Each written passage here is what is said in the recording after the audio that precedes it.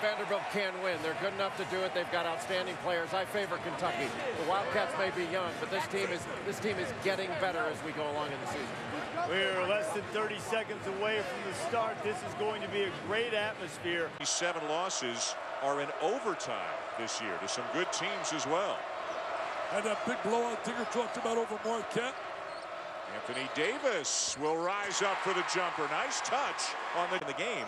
And then he finally put him back in, and he said to him as he put him back in, I'm going to be watching you. Teague with a beautiful spin and finish. Glass.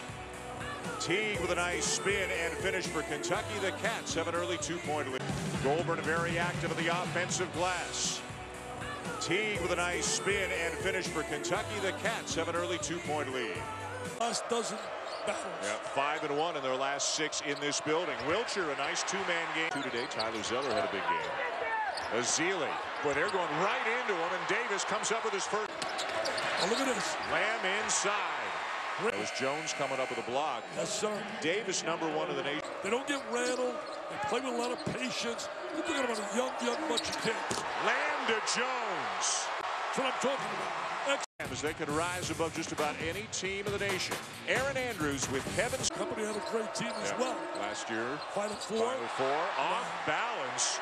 Jones looked like he maybe was expecting the whistle and just threw the shot up and it went in. Vanderbilt superstar. Love it. Again going inside. Davis has it for Kentucky. One of the top five players in the country. I just want him to play that way.